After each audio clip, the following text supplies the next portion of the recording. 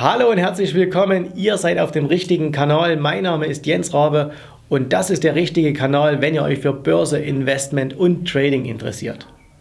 Heute haben wir eine ganz spannende Frage, der wir nachgehen wollen, nämlich was ist eigentlich Income Trading, also Einkommenstrading und wodurch unterscheidet es sich von anderen Arten des Investierens oder des Tradings?